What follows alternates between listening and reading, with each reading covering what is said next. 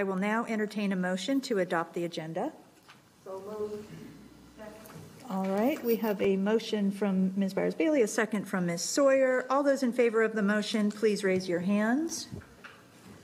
And for those participating by telephone, if you could unmute yourselves. And Dr. Jones, how say you? Oh, yes. Ms. Cheek Yes. and Ms. Shipp? Yes. Thank you. Any opposed?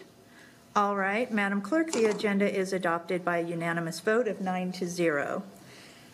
Um, All right, let's move on to our action items. Um, We have one action item this evening, which is a proposal to modify in-person and remote instruction plan that this board approved on September 16th, 2020. Before the board acts, I'm going to turn to the superintendent to introduce this item and then to make a recommendation. Well, thank you, and uh, good evening, Madam Chair and members of the Board of Education. Tonight, uh, the leadership team uh, here in CMS will bring forward a proposal for your consideration that increases the frequency with which our K-5 students will attend in-person instruction in our school facilities. Uh, We have said since Governor Cooper responded uh, to the pandemic uh, back in March um, by ordering schools closed to in-person instruction, that our goal is to get students and staff back together in schools. And we have made it clear that our priority is to make that happen when it is safe to do so. From the beginning of planning for the 2020-2021 school year, we said that we would be both flexible and adaptive. And tonight, we will demonstrate those qualities. The plan our staff presented at the September 16th Board of Education meeting was based on the best information available uh, to us at that time. Less than 24 hours after that meeting, um, when you voted to enable CMS to begin a phased return to in-person instruction, the governor announced new guidelines pertinent to elementary schools or K-5 in particular. This revision uh, to the executive or- order removes some of the barriers to returning students in kindergarten through fifth grade, and as a result, our leadership team has met with our principals and staff to determine opportunities to allow more frequent in-person learning for those students in grades K-5. And so I want to clearly state that our commitment to data-informed, metrics-driven approach to returning staff and students to our schools in person remains firm. We understand that the governor and state health and public instruction officials have en- enabled districts statewide to return students in uh, grades K through 5 to in-person under Plan A. But it made clear that such decisions are left to districts to make, keeping staff and students' health and safety in mind, based on information each district must consider individually. And we also acknowledge that other districts in our area are making choices different than which we will present tonight for consideration. Those districts are not Charlotte Mecklenburg schools. Factors unique to CMS drive our deliberative approach to getting our students and staff back into our school buildings. We are focusing on and will continue to focus on doing what we do well, and that is serving the educational needs of the most diverse student population in the state of North Carolina with the most dedicated group of teachers and support staff to be found anywhere.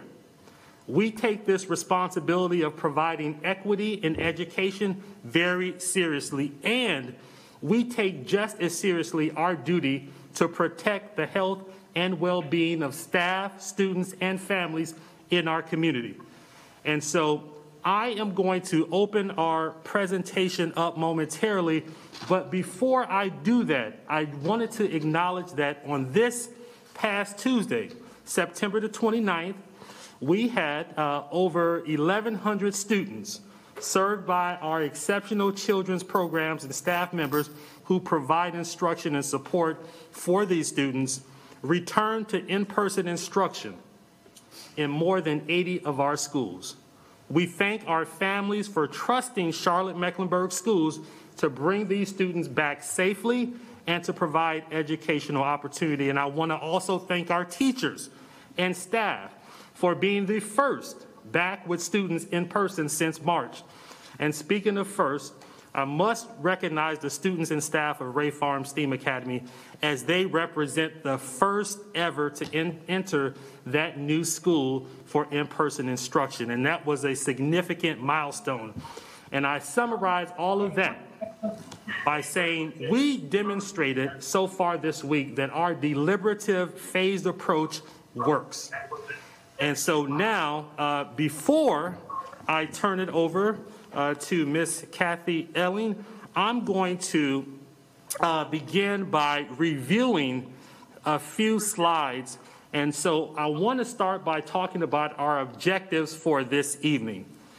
We have two objectives for this evening. One is to share a potential revision to the phased-in elementary return to in-person instruction. And the second objective is to share implications of a revised plan for instruction, public health, safety, and district and school level operations.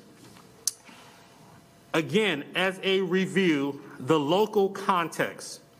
In this particular slide, you will see the three plan options. You'll see the public health scenarios and the back to school scenarios.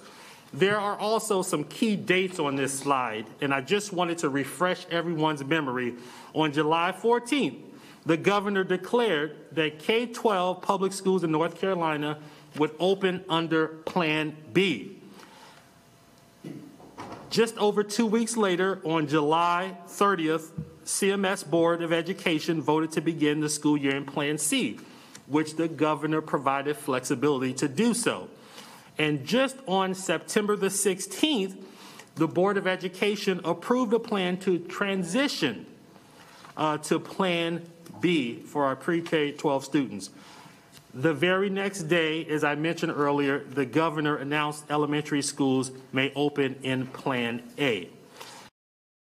And then on slide four, again, just a reminder of the time frame in which students uh, are, are will be returning back for in-person instruction. And uh, you'll note that um, on September 29th, our pre-K teachers returned, and our pre-K students um, will return on October the 12th, and you'll see other groups, our elementary school students, November the 2nd, um, and then also other middle, followed by middle and high school. And so with that, I'm going to uh, toss it over to Kathy Elling, our Chief School Performance Officer, to talk about our dashboard and our public health metrics. Good evening. Uh, Thank you, uh, Superintendent Winston, as a reminder as well, um, as a part of the review. At the forefront of our decision-making about who's in school and with the frequency of when kids are in school has been driven by our governor's um, orders, North Carolina Public Health um, information, and our own metrics and dashboard. To that end, I want to remind you that we're looking at positivity rate in our community and cases per 100,000.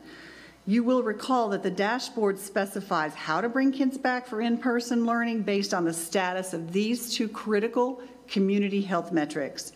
If both metrics are green for greater than 14 days, our guidelines were to consider in-person learning at all schools.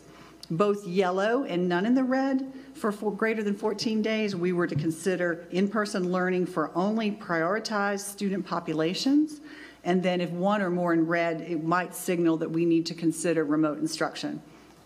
So I want to share with you the public health metrics currently. Um, And this is the top of the dashboard that looks, uh, you should look familiar. I want to share our current case counts in Mecklenburg County right now are 66 out of 100,000 cases, which is, the- puts us in the yellow. And the current positivity rate for the seven-day average is 6.5.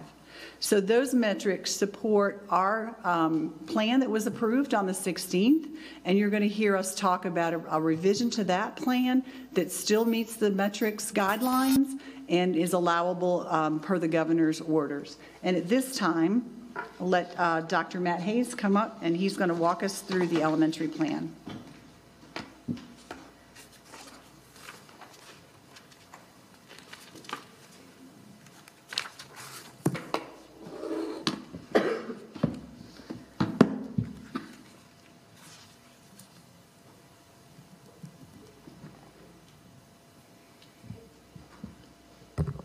Thank you, Ms. Elling. We appreciate that. So we'll go ahead and move into the revised K-5 in-person instructional plan. So uh, although, as uh, Kathy Elling just mentioned a few minutes ago, um, Governor, our governor moved to Plan A for grades K-5 statewide, uh, which allows us more students to be in, in-person daily.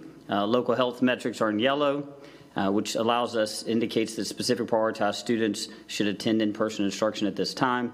And CMS has revised the elementary plan to prioritize large groups of K-5 students attending in-person learning with more frequency. Though the governor uh, has moved us with K-5 to the option of Plan A, I will state that this, and although this relaxes some of the social distancing requirements, CMS remains committed uh, to the safety of all of our students and staff. That is our number one priority uh, above anything else. We will still continue to monitor and respond to our dashboard. As time uh, moves forward, we uh, require students and staff to wear face coverings. Uh, I want to make sure that I'm clearly emphasizing that that is a non-negotiable. That is a non-negotiable for us. And that we will also emphasize frequent and proper hand washing. We will observe social distancing to the extent possible, and we will practice enhanced cleaning and hygiene procedures. So the revised K-5 in-person instructional plan, the goal here was to increase the number of students in the school for in-person learning at any given time and to increase the frequency in which individual students attend in person. This is our recommendation. It's to collapse attendance group C into groups A and B, creating two attendance groups in grades K-5 only modify the rotation such that students in attendance group A attend in person for uh, during all of our Mondays and Tuesdays, and attendance group B attends in person on all of our Thursdays and Fridays, and that is on a weekly basis. Wednesdays would be remote learning days for all students, whether they are in group A or in group B. School based staff will continue to report on Wednesdays. Elementary school, elementary students begin reporting on November the 2nd. There is no change. There's no change to what was approved on the 16th for the November the 2nd. Elementary teachers will also uh, report on October the 19th. Once again, this was approved on the September the 16th and will not change as well. I want to point out just quickly that as we met with our principals and we discussed uh, this opportunity in front of them and the collapsing of C. One of the key things that they mentioned to us was that in order for our schools, uh, transportation, and also for our staff, especially our staff, to be able to pivot on the request, the ask is that we maintain the November 2nd uh, date. So that is what we have done.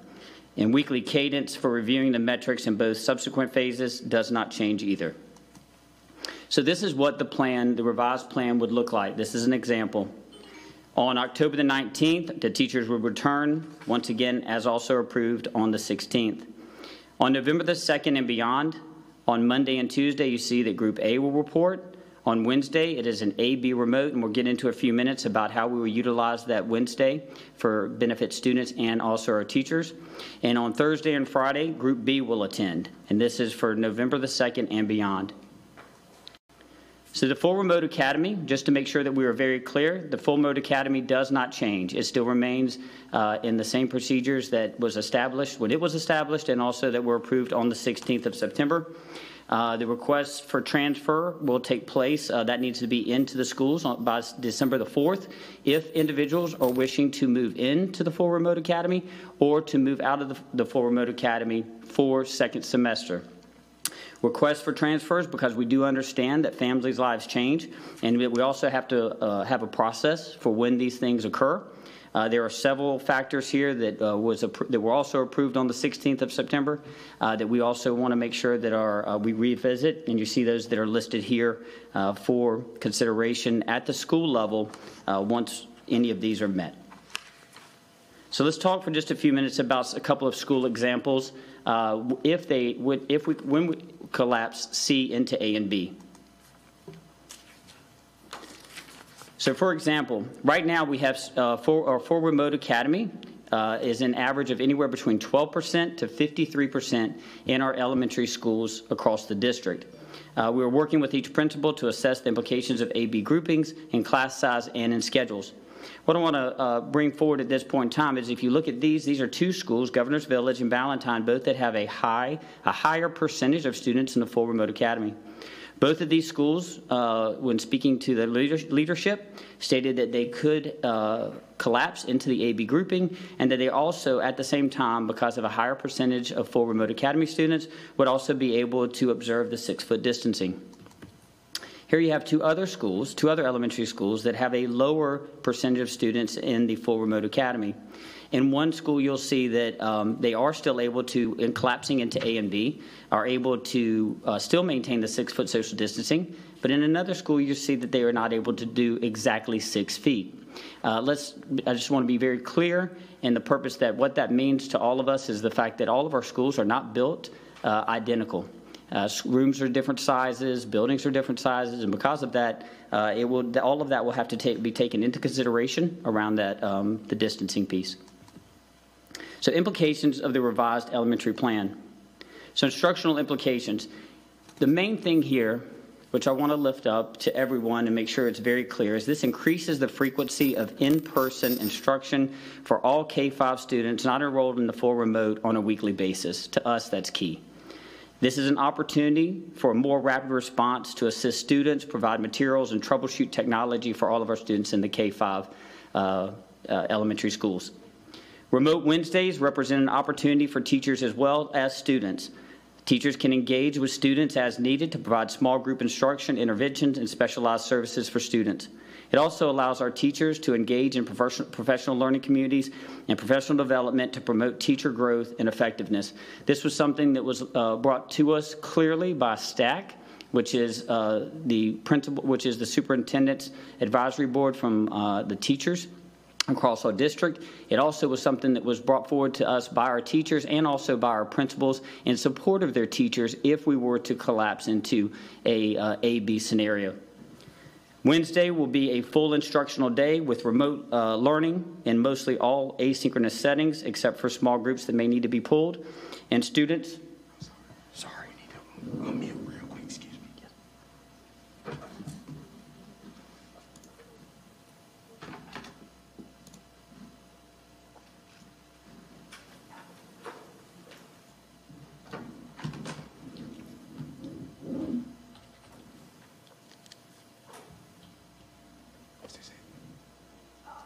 Sorry about that. We're working out a technical glitch here.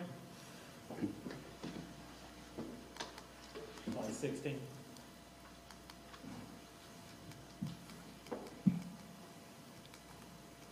I promise I know how to use a clicker. I think we're on 16. Excellent. Okay, so let's go back. Uh, We'll pick up what we said on Wednesdays will be full instructional days uh, for remote learning um, in most an asynchronous setting, except for the small groups that would possibly be pulled by teachers.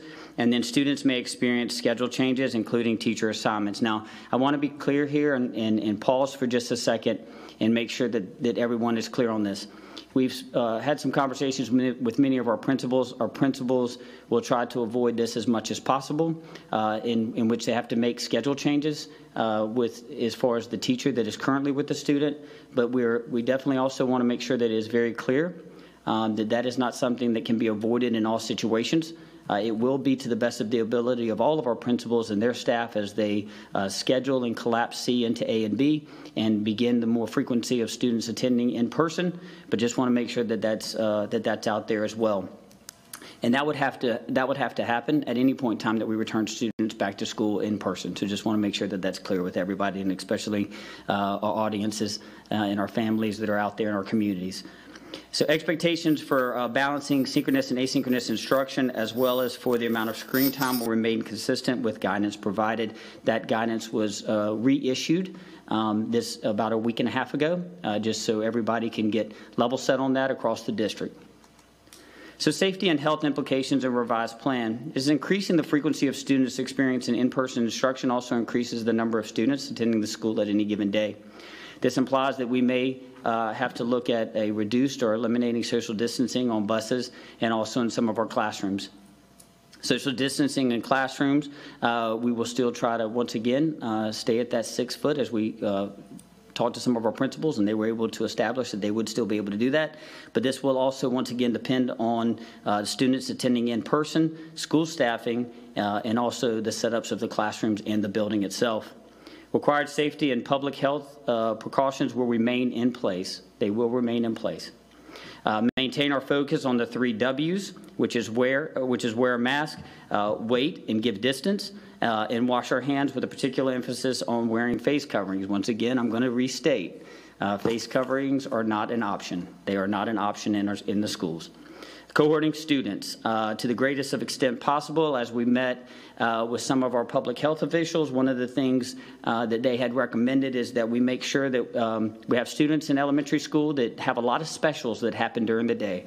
Uh, and one of the recommenda- recommendations, not mandates that they made or that they asked of us, was that uh, instead of having students out in the hallways and transitioning from one to a, one room to another, that we would actually allow for those specials to actually come to the room itself which I thought was a brilliant idea. Um, and so we will uh, figure out how to make that happen. Uh, so large areas like gymnasiums won't be used necessarily uh, for PE or physical education, but what we will use them, what we can use them for is uh, various instructional purposes and so forth uh, throughout the course of the day. So they still will be used, and that will be at the discretion of the principal as the leader of the building. And students may uh, also play outside, uh, but we are asking at this point in time that students are not actually on the playground equipment. Operational uh, uh, implications, enhanced cleaning will take place in the elementary schools on those Wednesdays in between Group A and Group B. Uh, CMS Eats at Home uh, deliveries will need to stop on October the 23rd in preparation uh, for the return of students on the November the 2nd date. After School Enrichment Program we'll offer full day programming on the Wednesdays uh, with priority given to the students that are registered before and after school care, and accommodations will be made for all other students as space is available. And then the full day support of children of staff will continue to be provided uh, for K-5 students during the remote day, learning days, including Wednesdays as approved on the 16th of September. And ASEP, just to make sure everyone understands, that's our after-school enrichment program. So at this point in time, I will uh, turn it back over to Superintendent Winston. Uh, thank you for uh, your time and your grace. Thank you, Dr. Hayes. Madam Chair, uh, this uh, represents my recommendation informed by staff's best thinking uh, to increase the frequency of in-person instruction for students in grades K through 5. All right. Um, Well, before I go to the motion, um, I will ask any board members if you have any questions. Um, And I'm going to start with the board members who've joined us remotely. I hope that you're hearing us okay now. I understand there was a while there where you could not hear us. And um, and for that time, I hope you were able to read along with the, um, with the package, um, the PowerPoint. Um, But I will start with Dr. Jones. Do you have any questions? And if you could unmute yourself.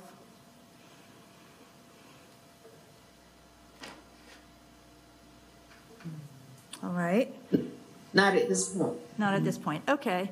Um, Ms. Cheek, do you have any questions? My only question would be, is there a weekly or bi-weekly review to see where things stand so that there is any, you know, in- or any plan target in place for moving to a full Plan A as the governor's um, recommendation allows for elementary K-5, or even for the younger students, just, um, or phasing it back in smaller groups of, you know, K2 and then a 3-5. Yes, thank you, Ms. Cheek. So the review cycle is weekly against the metrics. So we're assessing progress every week against the metrics in preparation for the next phase. So I believe on the plan that you um, approved on the 16th, we we provided a three-week interval.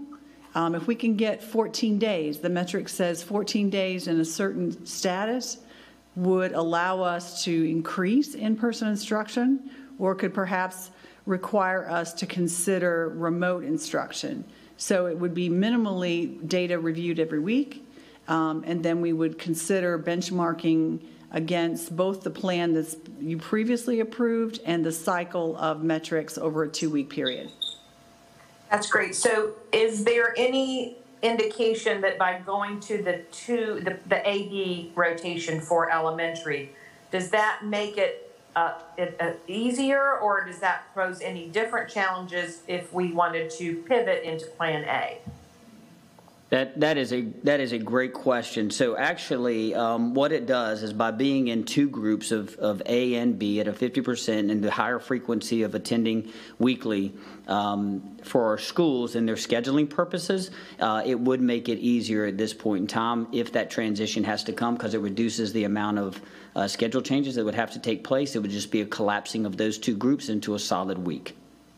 Thank you so much for that information. That's all I have for now. Okay, um, Ms. Shipp, do you have any questions at this point? No, I don't have anything at this point. All right, um, now I'm going to go from my right to my left. So, Mr. Shul, do you have any questions? I do have one question. Um, So if my understanding is correct, that originally, um, before school started, the choice that we gave to parents was either a one by three rotational Plan B or the full remote academy. So now that we're offering a slightly revised Plan B, um, is there going to be any change in the application process to transfer out of full remote academy, besides like things like sudden changes in finances or medical situation? Thank you, uh, Gabe. Actually, when we, when we were first looking at that, one of the key things that we were looking at there was either to be in a, uh, in a full remote opportunity or to return to in-person instruction uh, when the school, uh, when the district decides to do that. Now, um, at that point in time, what we set forward was that we would be in that full remote until the end of the semester, where you, you then, at that point in time, could either opt in or opt out. Opt out. Right now, what is critical of why we were not able to move the date up Uh, any sooner was due to the fact of which is a great question because like i said we don't just flip a switch like a light switch and, and everybody comes back and uh, schedules work perfectly and transportation works perfectly and everything else. We got to give the district an opportunity collapsing that one into the other two. Uh, that's going to require us to make sure that uh, schedules are, are checked and, and properly students are properly placed in classrooms with teachers uh, but also allows the time for our um, transportation team to reissue the routes uh, those have to be, um, first they have to be generated, uh, then you got to print them, then we got to mail them out and, and so forth and make sure that we got that contact. Because the one thing that we don't want to have happen as we bring students back to school, uh, and this is a concern with us, whether we were here or every school year at the beginning of the year, we want to make sure that everyone knows when it's their time to be at the bus stop uh, so we can properly pick them up uh, with the minimum amount of time that they have to be there. That makes sense. Thank you. Yes, sir. Mr. Strain? Thank you very much. So I do have a couple of questions. Uh, I'm going to start with just an acknowledgement um, that Ms. Elling spoke about the routine reviews of the, the numbers, the conditions, et cetera, on a weekly basis and, and being able to um, pivot as required to optimize our educational services, given whatever those conditions are. And by optimize, that could be moving either direction, right? So, so where we are now, um, we're in a position where staff is bringing forward a plan, uh, a, a plan revision, and I don't believe there were any restrictions as to what could be revised when you brought it back. You could have brought a completely different plan, you could have updated any part of this plan. So I have two different areas I'd like to explore. And in looking at those areas of the plan for potential revision, uh, obviously what we're doing on a routine basis is a risk benefit analysis. Uh, I think we have to acknowledge that all of us, I believe, believe that students are best served with in-school instruction, in-classroom, in-person instruction. And so from that perspective, the first area I'd looked at, uh, I, I'd like to look at is actually Plan A. To think about the risk-benefit analysis that you've done between the risk associated with moving to a full Plan A, as many, many of uh, the counties around us have decided through the risk-benefit analysis of what you've suggested versus a Plan A.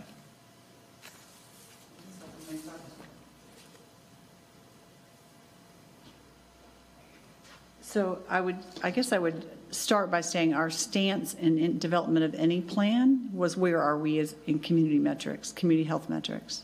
So our community health metrics drive the discussion that while the state metrics clearly gave the governor comfort to put it in a Plan A, that a Plan A for Mecklenburg County based on where we were, where we are, is not the plan that we felt comfortable putting forward. Okay, so the, at, at last count, we were actually 66. There were 65 of the 100 counties which were actually having uh, a higher prevalence of disease in their communities than, than we do.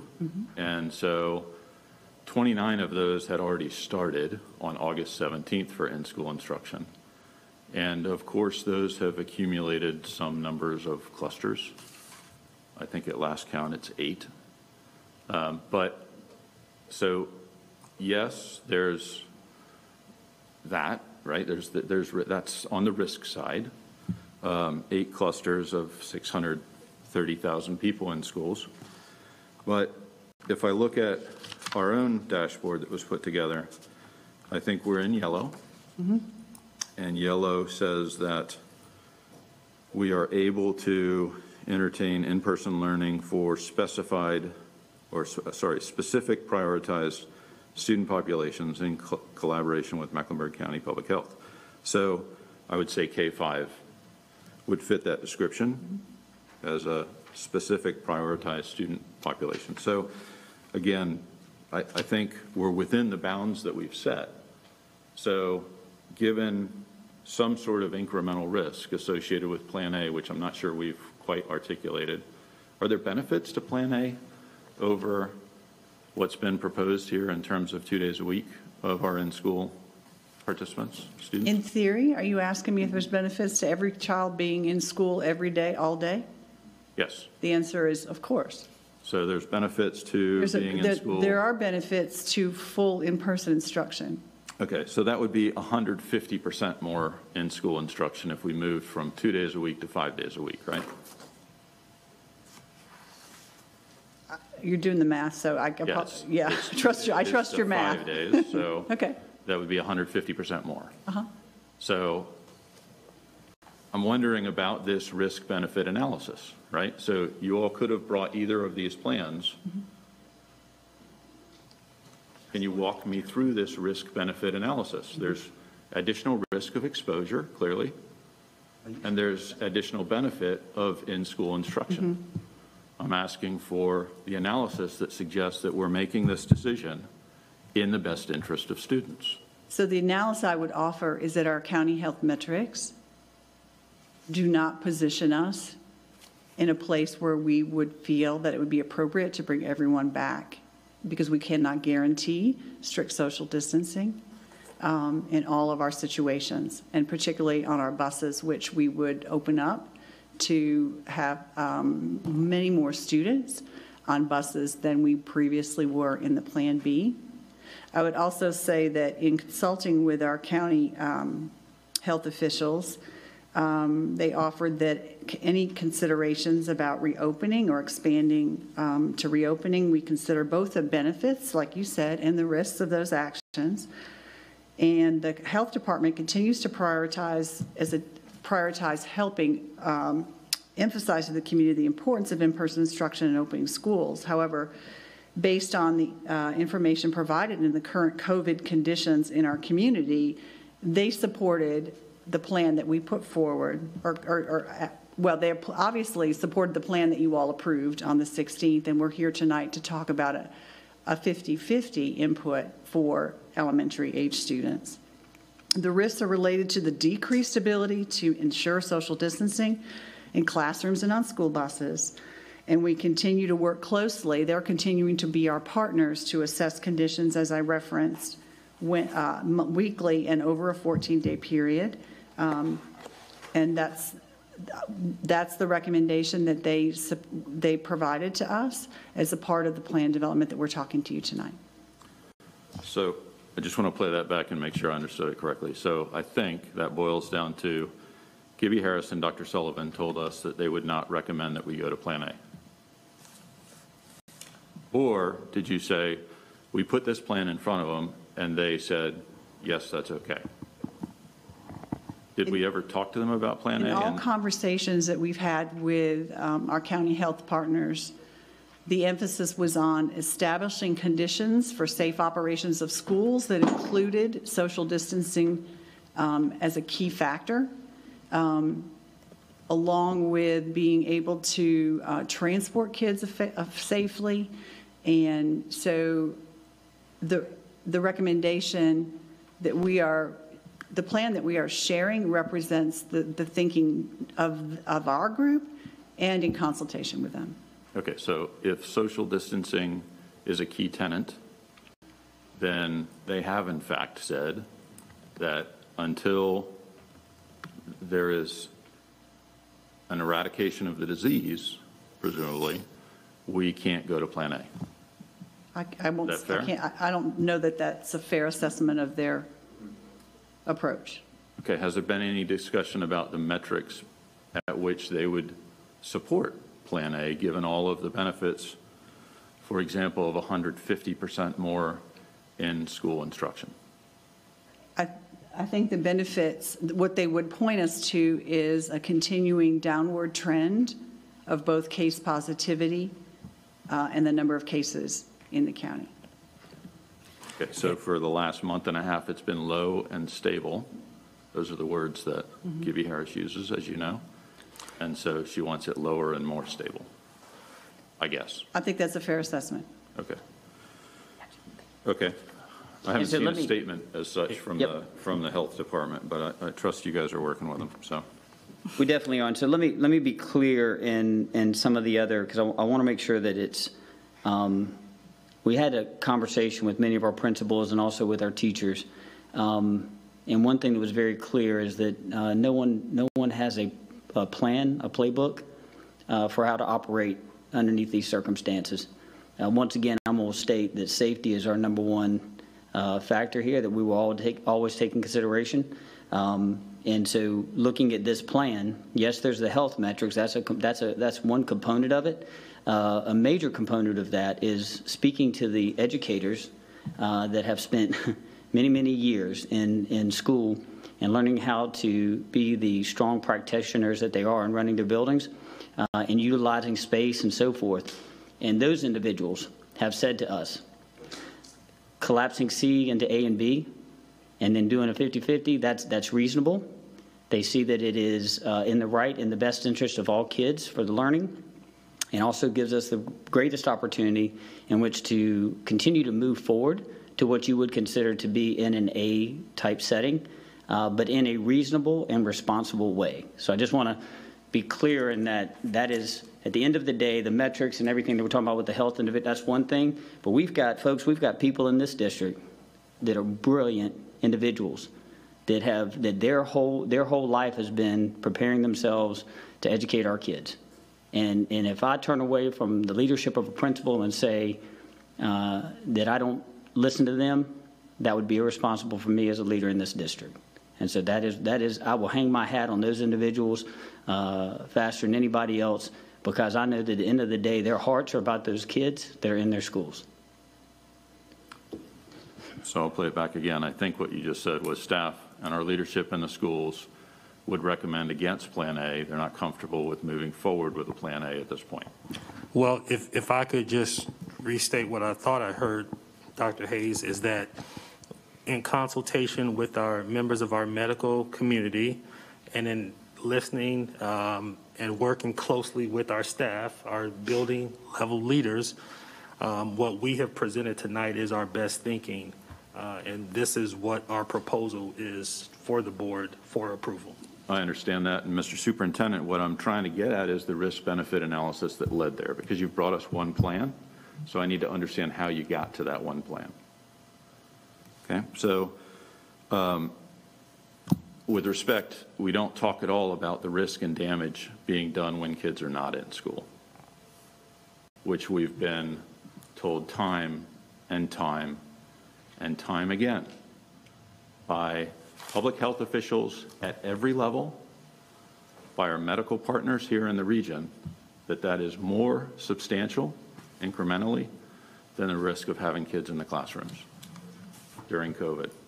So just want to make that clear as well. There's risk associated and in fact danger associated with not having kids in the classrooms. We, we tend to skip over that part. The other question I had was about the timing. So certainly, again, in revisiting this plan, there was an opportunity to pull forward the timing. And so similarly, with regards to the risk-benefit analysis, can you walk me through, say, an October 19th versus a November 2nd start of, of kindergarten? Yeah. Uh, Sorry, K-5, elementary schools. Yeah, so as, as I stated in the, pa- in the, in the, in the presentation that we uh, gave, uh, that there were other dates that were, that we looked at, and, and one of the things that was lifted up to us by our teachers and also by our principals was that in order to make the necessary changes in collapsing of C into A and B, which is, uh, when you look at schedules that are developed for our students, that usually happens over the two and a half months that we have during the summer. It usually starts in the, in March of the year before. Uh, Please understand that we have asked them already twice to change those. This is the third time that they will have conducted that change. It is not a flipping of a switch, it takes time. Uh, On top of that, we also, in collapsing C into A and B in order to increase frequency, you also have to make sure that our students uh, and our families are adequately prepared and given uh, acknowledgement of what uh, rotation they will be in, and also to make sure that our transportation has the time to develop those, uh, not only the routes with those students, but also that we can get those mailings out. We will, uh, we, we would love to be able to just shoot emails to everybody, but, but unfortunately, we're not able to do that, nor do we feel that that's a confident way of handling it. We want to make sure that we mail those as well as send emails and connect eds in every other way. Uh, That time, uh, moving into the second, allows us to do that. It also provides on the 19th, as you see here, for teachers to enter the building. We, uh, first of all, we promised teachers, or we, uh, it- the vote on September the 16th was uh, for teachers to ma- return on October the 19th. Uh, Those families have had opportunities, or- and uh, they've made arrangements uh, based off of that. I think it's irresponsible if we turn around and say, well, we've told you one thing and now we're going to flip it on you and do something different. So uh, we're going to stick to that on the 19th. Teachers come back into the building. That gives them the uh, adequate time to set their buildings up, go through the process that they need to make sure that they're going through uh, with their uh, administration uh, to, in preparation to receive students back on an A-day, B-day, uh, and uh, twice a week, every week with that frequency. And um, I want to keep this meeting moving along. I acknowledge I did not set out an expectation of a time limit for each line of questioning. Um, And so I'm going to go ahead and turn to Ms. De La Jara. But at the end of this, Mr. Strain, if you have more questions, we'll come back to you. Sorry, can I just finish up? I mean, I had the floor.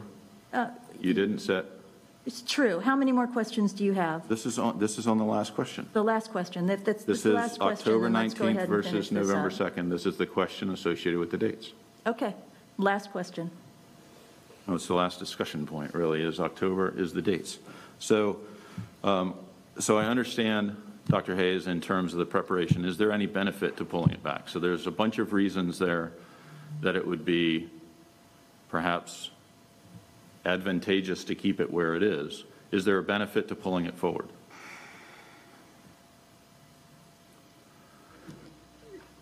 After speaking with the leadership of the buildings and the teachers that are teaching those classrooms, it would be irresponsible of us to do that. Okay, so I'm just going to share a quick story. I spent uh, an hour and a half today um, at a a wonderful facility, community um, learning facility, remote learning facility that's been set up.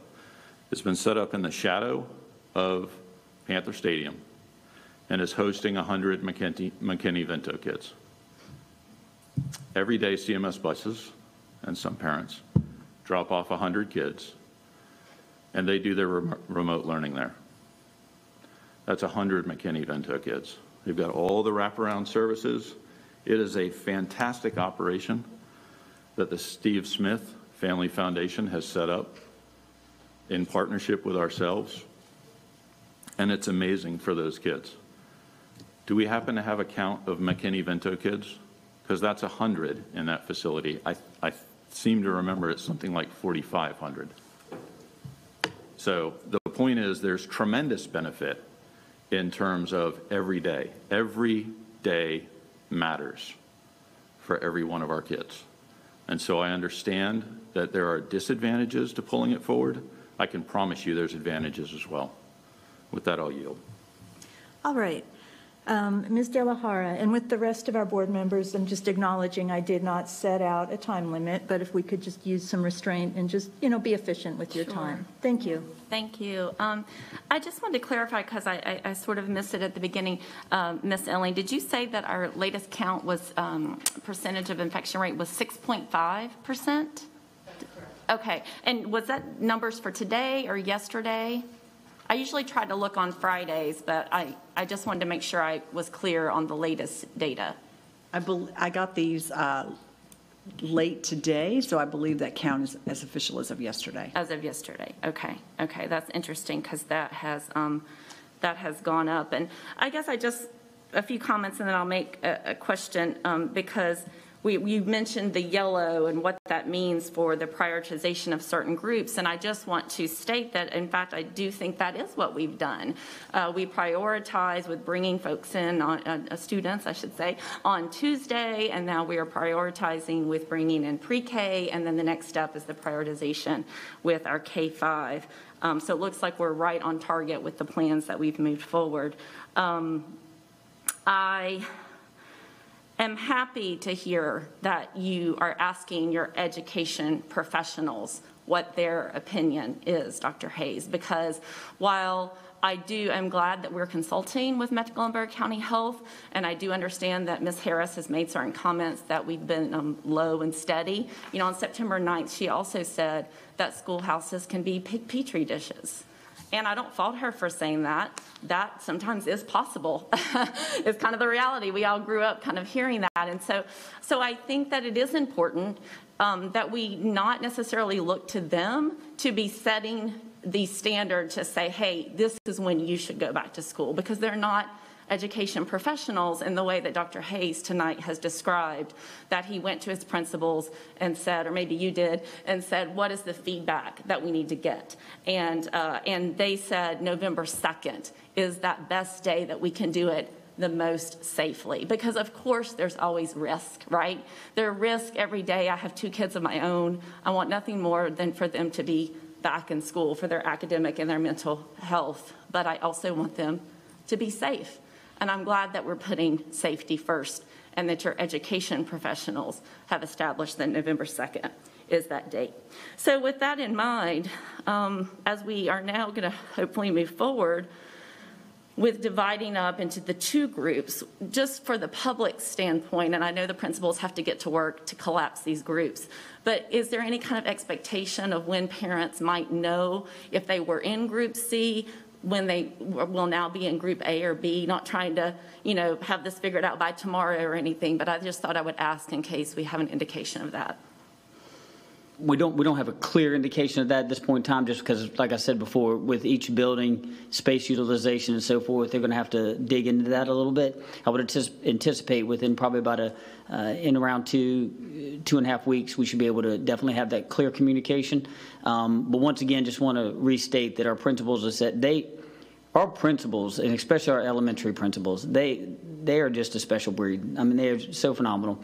They, uh, one of the key things there is that they talk about the relationships that students make with their teachers early on and how they've invested in our students. We are blessed in this county, unlike many other counties across our state, that we have uh, the one-to-one opportunity, right? That we have devices that we can give out. We have the resources because of our community partners uh, to provide Wi-Fi services and do things that in other counties, they're having to change and, and, and really force themselves back into a setting that they may not be ready for because their students don't have that accessibility that we do. And, and so um, I just want to, you know, our, our principals and our educators are, are using all of that to make sure that they, the to the best of their ability, that they maintain the relationship with those students and they maintain those classes. So uh, I would say probably in, in around a two-week time period, uh, we do have, we already have the numbers uh, on, on, on rough numbers on how that might look, but we've got, all that's got to get plugged in to the system uh, for us to be able to accurately answer that question uh, and also for us to generate many of the other reports that we need to have in which to move forward. Thank you, that's great to help set an expectation. And just to be clear, this will not be for K-8s, grades 6 through 8. I just think it's good for the public that we clarify that. Yes, ma'am, that is correct. Uh, We, if, if there's, a we're working with our uh, principals right now that may be of a Montessori school that may have sixth graders in that school, and we're talking with them about how we can uh, manage through that. But it is in our K-8s, it would only be for our K-5 students. That is correct. Okay, and one last quick question. Um, I, I, I got, um, in anticipation of tonight, some feedback today from some parents who liked this plan. A couple parents did ask about, well, why don't, why didn't you just stick to week A, week B, week A, week B?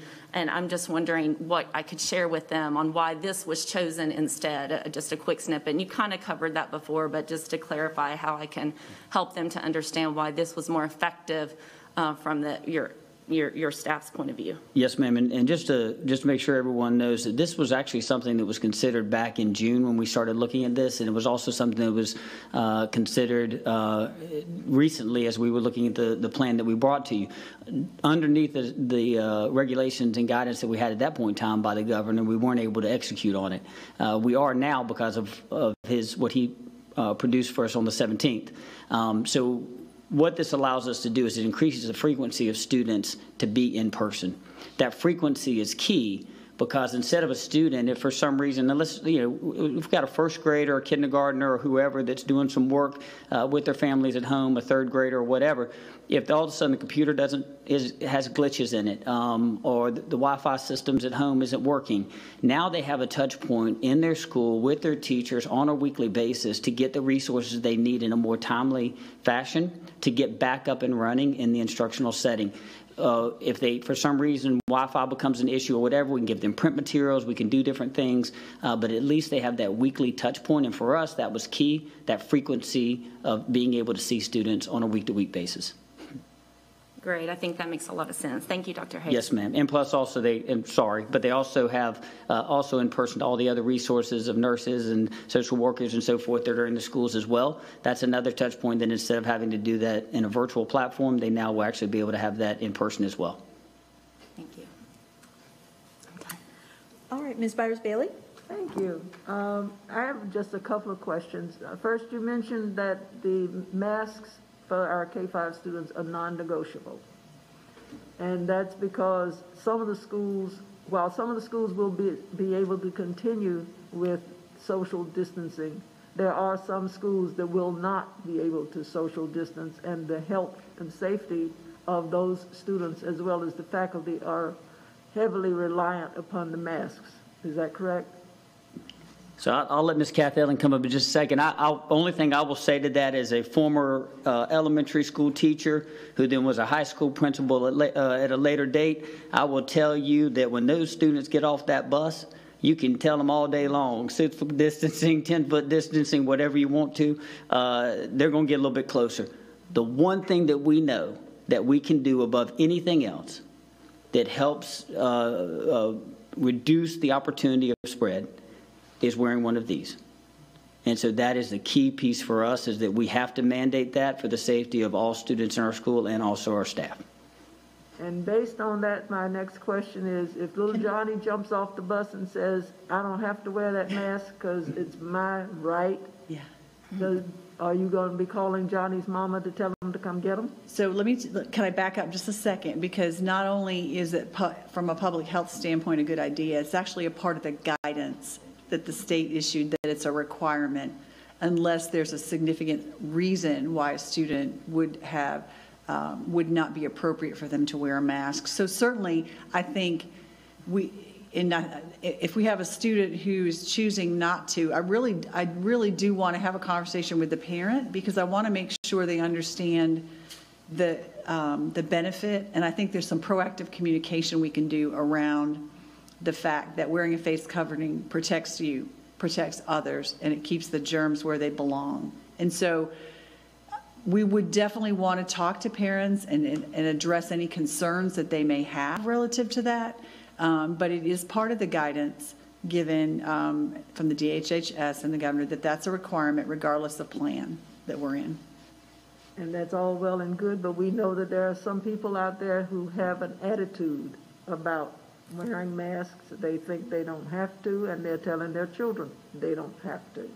What are you gonna do? Besides talk to mama. We'll do it, well, we'll do our best to engage in a meaningful conversation with those families because we want everybody to, um, to be fully aware of the, of the consequences and the ways that we can drive down our case rate in Mecklenburg County. Um, and the number one thing is to wear face covering. So we certainly will do our best to, to message that in a way that's collaborative. That's very diplomatic. That is not getting to where I'm at. Probably let her talk. All right, my, my other question is, uh, Dr. Hayes, you've mentioned fifty percent a couple of times in terms of the A versus the B, and it feels like it's half and half, because A gets as, just as much time as B gets. But, um, when we were doing the three weeks, A, B, and C, that got our students in the school building about a third of the time, which is thirty-three and a third percent. Uh, now they're getting two days in and three days out. That's forty percent. Fifty percent would be one week in, one week out, one week in, one week out. So I just wanted to be a bit more, uh, precise in terms of what percent we are talking about when we're talking about our students in school.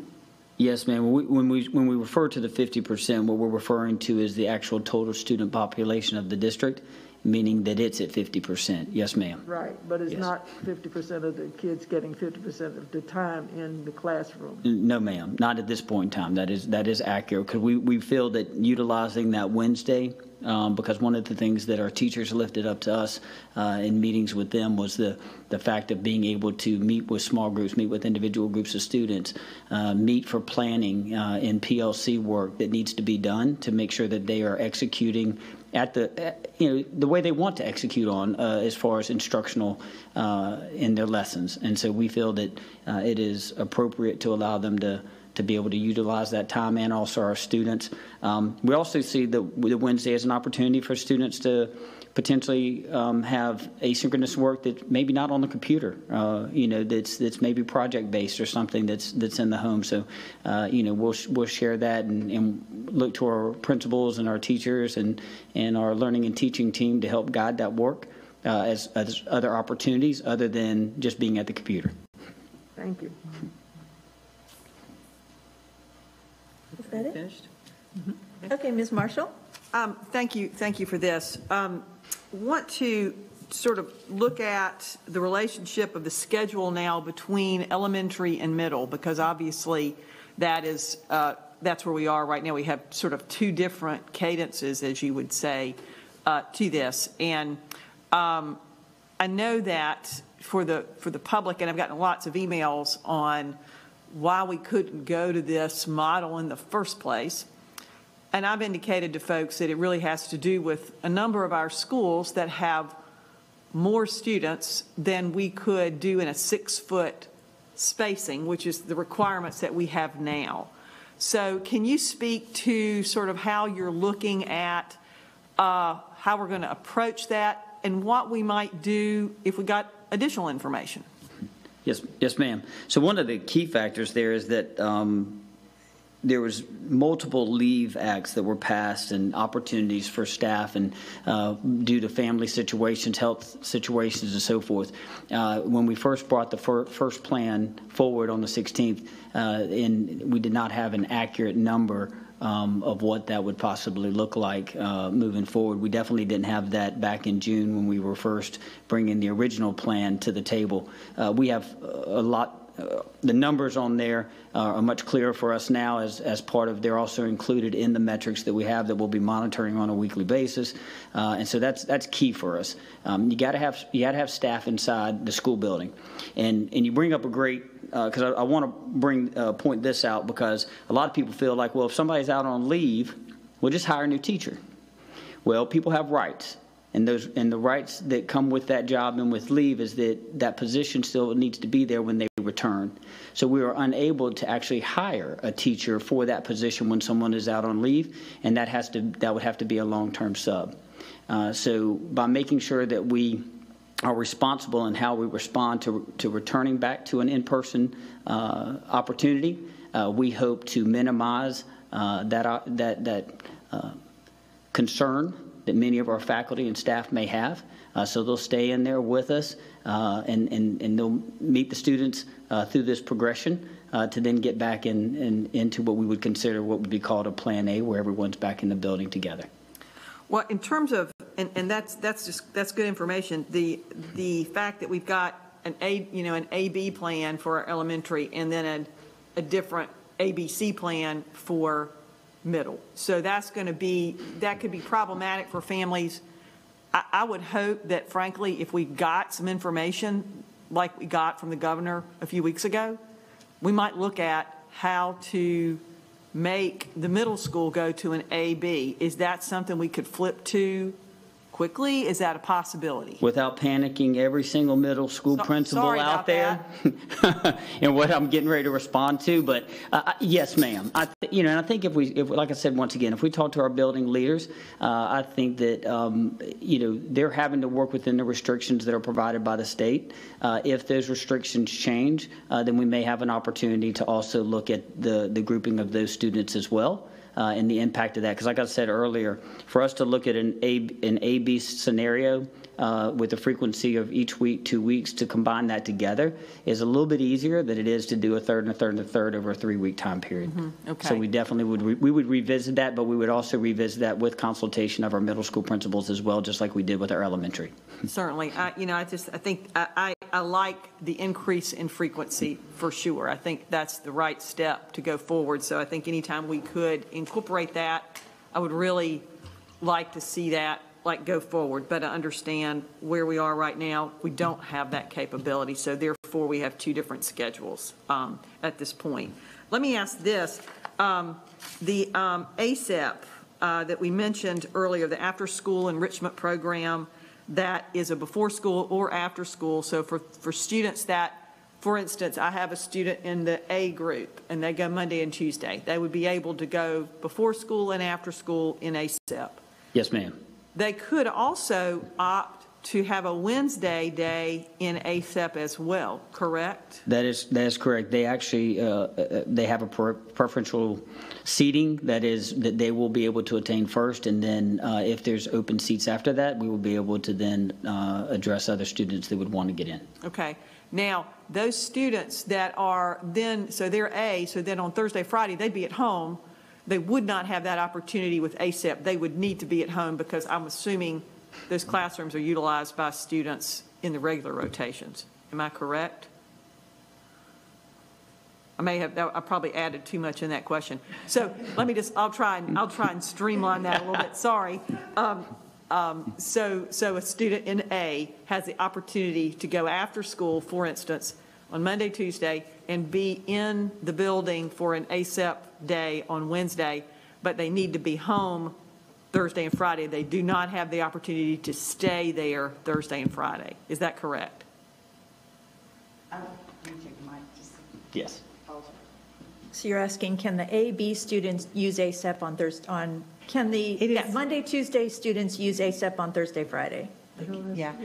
I, that what you're I, I definitely want to uh, make sure I'm correct in what I'm saying, but I, I believe my, my understanding was that ASEP and BSEP are available for students on their rotation um, and on the remote day. So if they are not in a, the, a day, in-person day, Right. minus the Wednesday, oh, you got it. Okay, okay. So, I may have made that work myself. No, no. No, no, no, and, and listen, and, uh, it- the, the beauty of technology, right? So, uh, Mr. Brian Casey, I told him he didn't have to be here this evening, who's been working on this uh, relentlessly as we've been going through the process, uh, also with many of our community partners as well. So, uh, he is, he, because I want to make sure that when we make statements about certain things that are like this, that are drastically impacting families, that we don't give wrong information. So what is very clear in, uh, from him is, is possible if there is room in the afternoons, uh, space and availability will be dictated uh, for um, after school only, not all day. Okay, okay. Yes, ma'am. All right, all right. So um, I think a big question that I would have had, whether we did the third, a third, a third rotation, or this, is to let families know what we think instruction might look like when folks are at home and half the classroom is there in the building. So um, that's my last question, and I know we've, we've sort of spoken about that. I just think that would, that's sort of, that's an interesting thing that we would have, we would encounter regardless, but let's just talk about what it looks like now. Yes, ma'am. So uh, there's a couple of, couple different ways that that's working right now. Um, As we share with some of the schools, let me make sure I'm correct, is what would, what would that look like as they're transitioning between those days? Okay, so um, some of our schools, and uh, as we were looking at, I apologize, let me just, Oh, yeah, that's right, you did that. So, for example, like here, so you look at like Governor's Village, each grade level assigned uh, dedicated uh, full remote academy teacher. Remaining teachers are uh, paired such that one is teaching in person and another one is teaching the remote students. So they've paired them up. You have others where um, all of the teachers, you have the full remote, and then you have all the other teachers that are at that grade level that are spread out, teaching the remaining number of students that are there. So um, there's a variety of ways in which that looks, but I think um, the, the consistency here that we want to make sure that students are experiencing one or two of the same teachers in the process of transitioning between the two remains consistent, and that's what they're going to be working on over the next couple of weeks to, to make sure that they're able to So develop. it sounds like we've got, we've got some variation among the buildings. And my guess is too, once people figure all this out, there's going to be yet more variation. So again, we want to minimize um, any transitions between teachers, but know that that could happen. But again, that's the goal, is to not have that happen. It could, but uh, uh, Trish Sexton, who is one of our equity superintendents, uh, had the opportunity after uh, we had some preliminary numbers kind of coming forward and everything else, what it might look like in collapsing C into A and B, uh, was able to reach out to some of our principals and, and speak to them. And, and, and that's what I, I, I was speaking to, is that I want our, our community to understand, uh, and definitely our principals, that we hear them and that to the best of their ability, they're going to try to maintain that relationship. But we also want to say the cautionary tale is, is that when extreme circumstances come up, we're going to have, we may, that may have to be an outcome that, that we have to move on, uh, but it will be something that will be really at a last resort rather than something that's seen as the first move in action. Okay, thank you. Yes, ma'am. Ms. Sawyer? I don't have any questions. No Thank you. questions at this time. All right. Um, Well, then, um, if everyone has had a chance to ask their questions, um, I'm going to turn to you, Ms. Sawyer, to make the motion. Sean, you said you were going to go back to Sean. He finished. Oh, he finished, okay. Yeah. Okay. Thank you. Madam Chair, I move to approve the modifications to the previously approved CMS transition plan for in-person and remote instruction, Plan B, and the adoption of the school calendar entitled Revised K-5 Plan B as recommended by the superintendent. My motion includes the following. K-5 will be divided into two groups instead of the previously approved three groups. The first group for K-5, Group A, will attend in-person instruction every Monday and Tuesday that are instructional days per the school calendar beginning on November 2nd, 2020. The second grouping for K-5, Group B, will attend in-person instruction every Thursday and Friday that are instructional days per the school calendar beginning on November 2nd, 2020. Every Wednesday that is an instructional day will be a remote learning day for all K-5 students. The previously approved plan for grades 6 through 12 remains unchanged. This plan will adhere to the guidelines of the remote learning plan previously approved by this board on July 15th, 2020. All right. Do we have a second? Second. Okay, we've got a motion on the floor from Ms. Sawyer, a second from Ms. De La Jara. Ms. Sawyer, would you like to speak to your motion? Yes, thank you. I am pleased to support this plan. I think it offers our elementary students uh, more touch points with their teachers while not sacrificing um, safety by abandoning social distancing. We've had, we will make some adjustments in social distancing in some classrooms and in some settings, but for the most part, our students will have the space to be in classrooms and move around the building safely and not be, um, we will not have classrooms of, of 25 children. You know, we'll imagine, you know, half classroom sizes in a standard classroom building, standard classroom size. And this plan responds to our community health metrics, which are in the yellow. We have 66 cases per 100,000. Um, our yellow band is between 10 and 100 cases. So we're kind of high, high in the yellow band on that. Our case positive at 6.5 is, is still in the yellow, which we designated as between 5 and 10% test positive rate. So I think it's important that we consider that health data and use that to guide our planning. And I think this plan uh, takes advantage of being able to have a little wiggle room in hard counts on students while paying close attention to safety. Thank you. All right, thank you. So I'm going to go to our board members who are joining us electronically next. Um, Dr. Jones, do you um, have any um, points that you want to make during discussion and debate?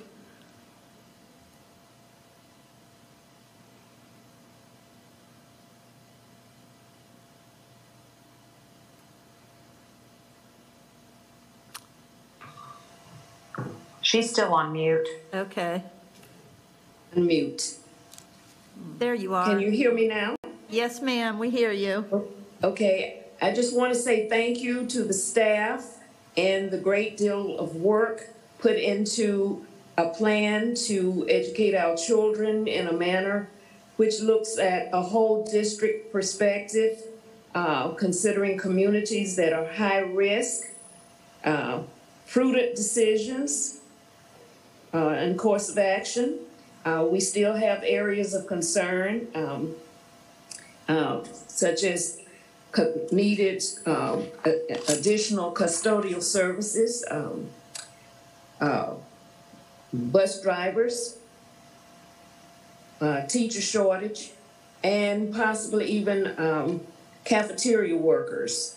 So I think given that of those aspects um, of shortages and the unknowns that we are moving in a way that, again, I say is is wise and prudent. So, thank you. All right, Ms. Cheek. Yes, so I am happy that we have moved forward. This is six days every three weeks versus five. It is an improvement. The children are going to be in the schools weekly so that the glitches and things can be worked out.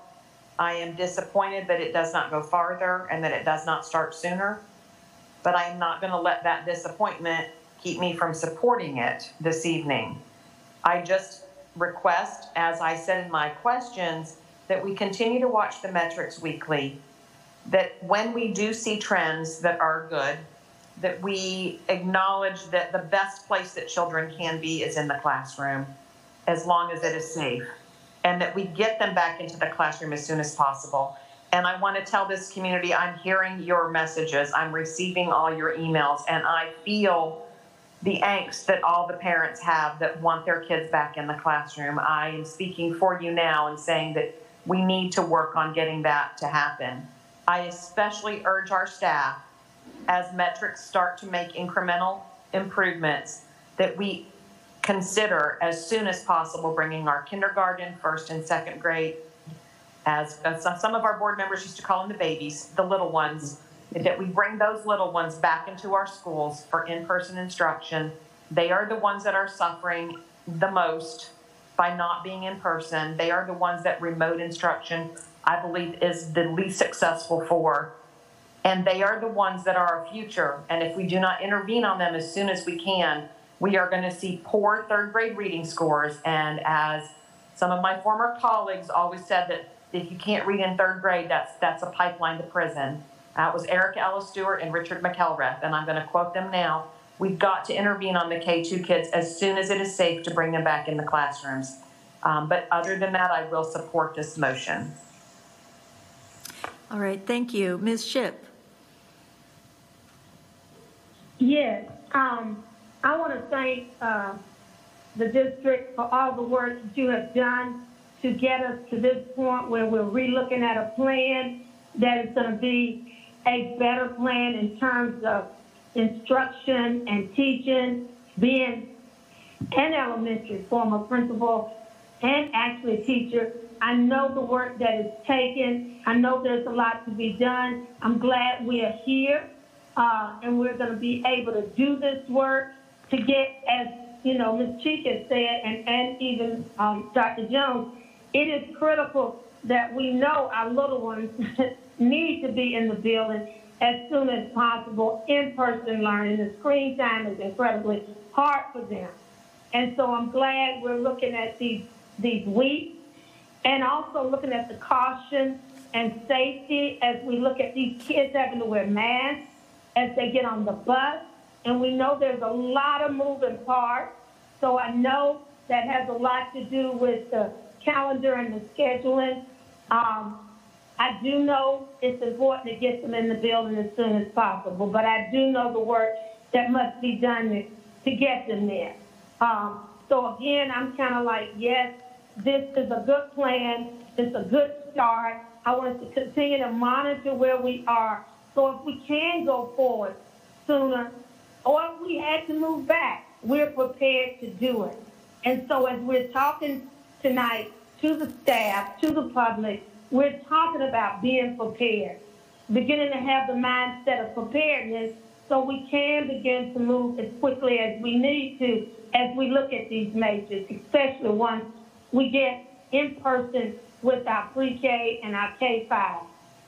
I didn't say before, but I'm, I'm concerned also about the schedule we have for our middle school and high school students um, because they need it too. They need to be in the building. And I know we're not quite there yet, but I think we need to also be looking at that schedule uh, in November. That's right around Thanksgiving. I've had some um, comments about that. So I hope that we can continue to monitor this and look at where we are so we can move all children. They need in-person learning. And I know this, you know, being an instructor of, of students all the way up through high school and an administrator. So again, thank you for this work. I'm in favor definitely of this because I know it's good. We need that Wednesday in there. I think that would be a great piece for our teachers and our students. So thank you for this work. Um, from starting with the superintendent all the way through our executive staff and our administrators and our teachers and support staff. Thank you for the work that I know you will embark on and deliver on. So um, Thank you. All right. Mr. Schewel, is there anything you want us to keep in mind before we vote? Yeah, um, so I, I do support this plan, and I, I think it's well thought out, and I think it does account for the safety of students. Um, But what I would like to offer as a point of reflection for this board is whether this situation becomes a precedent for how we act in the future. Um, Because as someone rightly pointed out earlier, our deliberation is based off of the county metrics and not the state's. And as the superintendent pointed out even further, it's based off of things specific to CMS and factors specific to our district. Um, and by that logic, state decisions shouldn't pre- predetermine our boards. Um, because the fact is that when we're talking about our, our risk benefit calculus, our risk could, could very well be a life. Um, and no doubt that's being readily dismissed as some sappy emotional appeal, but, but that is a reality. In Mississippi and in South Carolina, it has been a reality. Um, and the county health metrics that we're using are by no means arbitrary. I think they're well grounded, well recommended by medical professionals, including by Dr. Redfield of the CDC.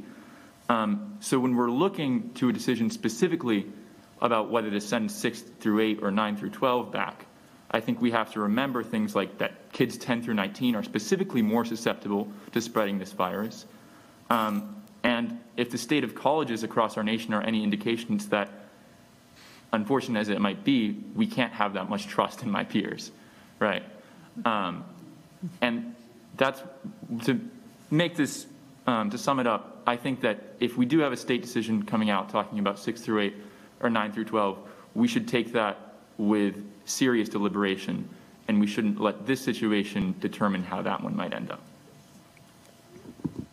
Hey, Mr. Strain, you're up. Thank you, Madam Chair. I, I want to thank uh, Ms. Cheek for her eloquent words earlier. Um, Couldn't have said that any better. I too will support this 20% increase in in-school instruction time for our K-5 students, although 200% was on the table. Um, And uh, certainly, the in-school instruction every week is tremendously valuable to those students, and I appreciate you making the move in that direction. I too want to call for acceleration of the middle school and high school schedules. Um, I- I- I'd love to understand the the the phasing, because there isn't phasing into a school, it's phasing between schools. We've discussed that there's no real value in the phasing between schools. If there is going to be phasing, and there's a case to be made, then perhaps a week, not three weeks. Uh, The the governor um, you know, is, is clearing the state to move into phase three and fully open the state within the phase three um, regulations and rules. And it's still three and a half months before many of our high school kids will see the in, inside of a classroom for instruction. So I think we owe it to them to uh, think hard about this, sharpen our pencils, and get them back in school. Thanks. Ms. De La Jara? Thank you, Madam Chair. Um, I am going to support this plan tonight um, because it's allowing parents, and I do think it's important that we reiterate this, who are choosing to have their children in the school buildings, uh, more touch points. Uh, Sometimes I, I feel from the public that, that we've forgotten that we do have that offering of the full remote academy um, that was offered. And so again, this is allowing the parents who have chosen that they want their kids in the physical school buildings to have more touch points for all the reasons that you articulated, Dr. Hayes. I, I- I appreciate that. Um, But we are in the yellow, as, as we pointed out tonight. And so I also like the balance of how this provides us um, the opportunity um, to, uh, to the greatest degree possible to maintain the social distancing. And I appreciate your multiple commitment to um, the statement that we are, that wearing a mask is absolutely mandatory. And so that gives me, um, gives me confidence. You know, um, I get a lot of emails, and I know I haven't responded to many as of late because they are backing up.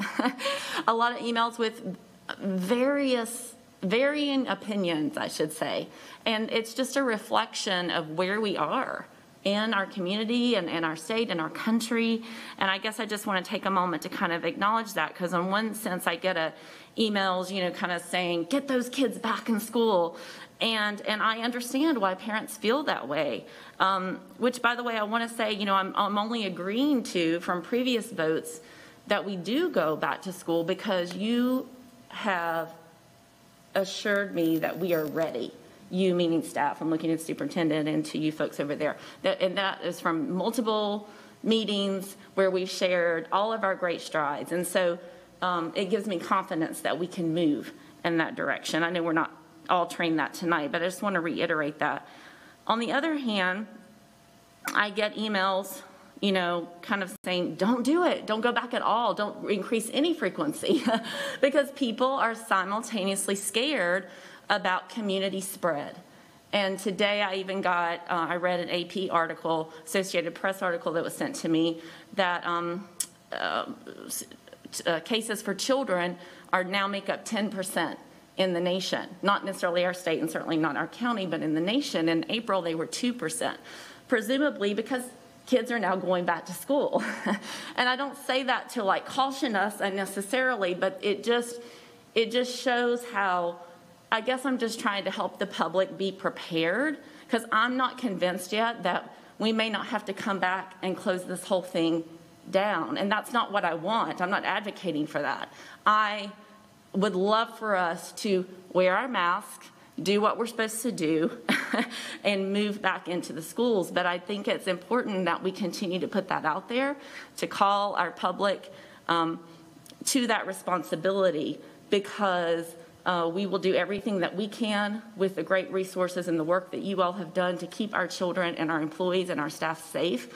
But we just need to be mindful of that um, so that we don't lose sight of that and continue to be flexible in understanding the great stress that our whole school district has been under as we have are simultaneously creating and improving our virtual learning environment while coming up with all of our plan B uh, plans to come back. And that's a lot of work, and I thank you all for it.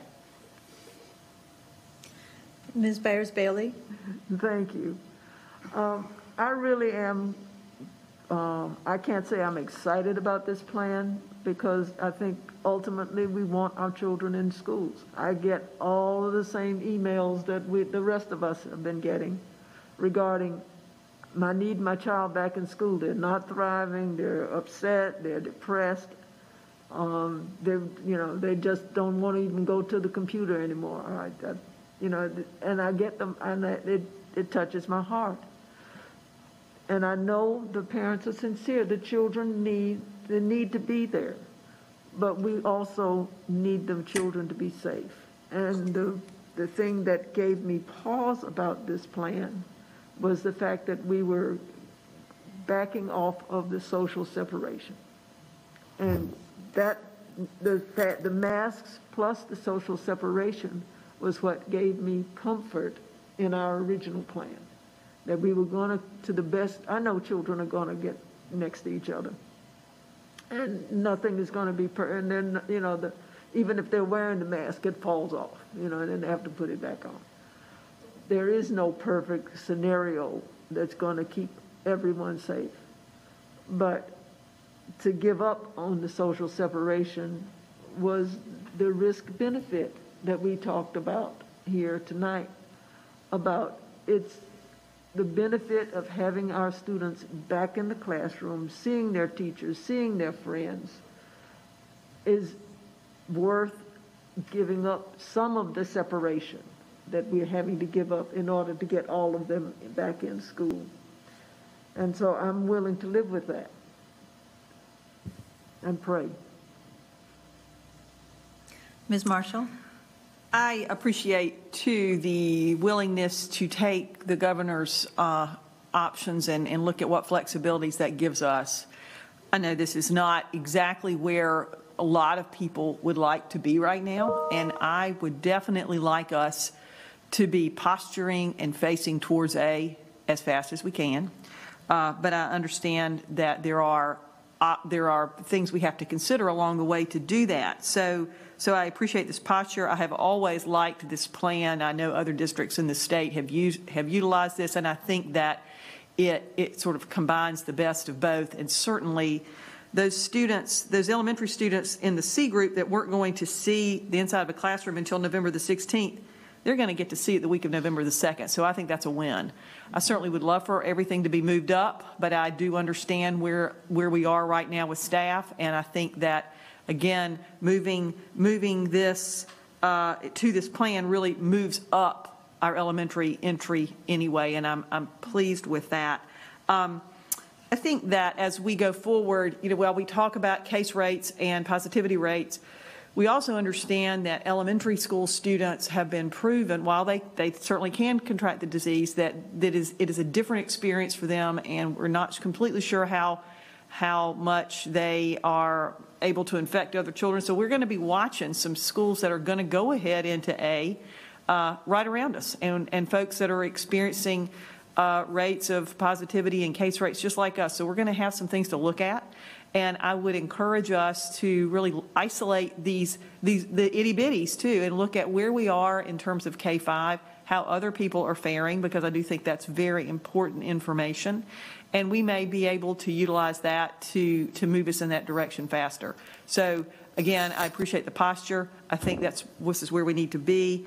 I would encourage us to be able to be flexible and look at that and, and and, and dig down into those numbers a little bit more rather than just a larger positivity rate. Because I think a 25-year-old who's um, experiencing life in South End is very different from a five-year-old. So I think that we, we need to be able to separate that a bit. Um, I also uh, want to say that I've read, you know, why is CMS changing all the time? Well, there's new information that comes available and I'm, I'm not going to apologize for adapting and, and asking staff to look at that new information and act on it. So you may see us again. Um, and I think that anytime we can make these plans look alike uh, is better for families. I am very interested in seeing if we can get to a six, uh, grade six through eight, A day, B day type thing. Uh, and I'm crossing my fingers we can get there. Uh, but we will, we will continue to do that. Again, apologies to my middle school principal friends who probably are throwing their hands up right now. But um, again, that's what this that's what this uh, season is all about. It's about change.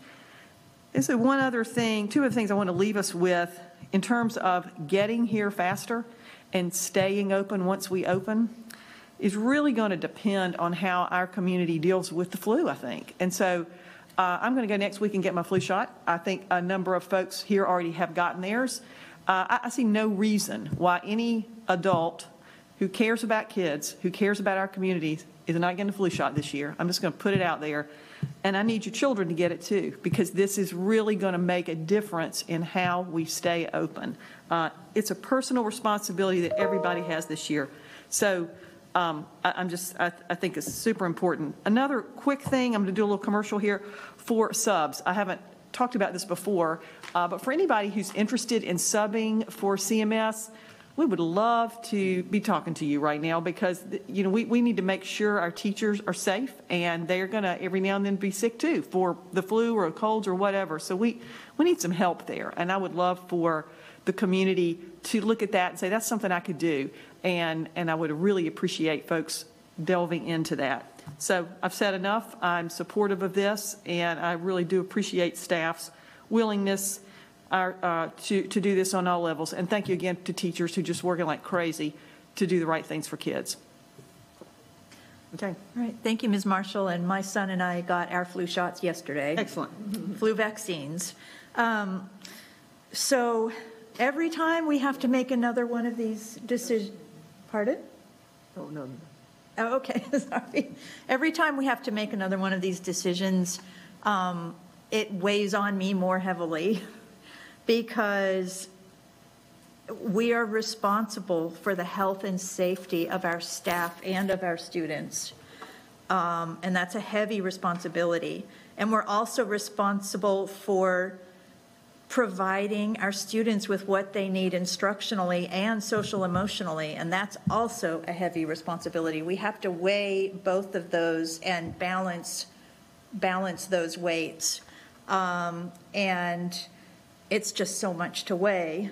Um, so i thank you for Super, mr superintendent and your team for your hard work um, and your creative imagination and your thorough um, checking with the experts in the classroom and in the schoolhouse, as well as the public health experts, because we need all of that expertise to inform every decision that we make. Um, Because, you know, we are in, we are in a time where the science is still emerging, and like you were saying, Dr. Hayes, um, there's, there's no playbook for this, so we have to make our best educated guess, guesses by working with as many experts as we can, informing both the instructional side and the medical side. And so I think that's, that's what you've done here. We did um, get a little bit more flexibility and some changed guidance from the governor and from DHHS, and we've adapted to that. Um, And so I support this plan as well. Um, And I guess I just, I also know that, you know, with a 6% or 6-plus percent um, rate, infection rate in the community, it is out there. And the more we bring people together, we will find out that there are teachers or custodians or students who may have this. Um, What I need to know is that our schools themselves are not contributing to spreading the disease. But I do want us all to be aware that I, I, I believe there will be cases. There are cases probably in our school community right now, and we will be learning more about those cases as we bring everybody back together again. So I trust that, you know, with the plans that, that you've worked out, again, with the guidance of the county health director and her team, that we have a good way to catch those cases, isolate, quarantine, do the, you know, the, the case study, um, whatever that word is for, um, figuring out who has been in contact. Um, and so we'll minimize spread that way. But, but, um, I'm just gearing myself for, you know, for when we get that news. It has happened in private schools in our community. It has happened in, in surrounding districts. And so I just know we have to be responsible as, as, um, as we walk that road. Um, But I do support this. I think this is a good, it's, we're still being cautious and responsible, but we are increasing the, um, the, the time that our students are going to be together with their teachers. We're increasing the frequency of when our teachers can check in on their students, can help with the techno, tech, technological problems or um, give the social emotional support that, that our students sometimes rely on from our schools. And so I think you've done good work here, and I thank you for that, um, even while every vote we have to make this year just weighs on me so heavily. Um, So with that, I'm going to call for the vote, and I will start with those of you who are joining us electronically. Dr. Jones, if you could unmute yourself and, and let me know, how say you?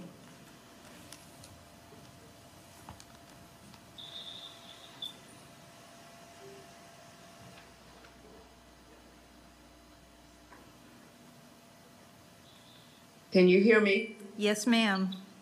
Yes. Okay, Ms. Cheek, how say you? Yes. Ms. Shipp, how say you? Yes. All right. Um, For those of us in the room, um, all those in favor, please raise your hands.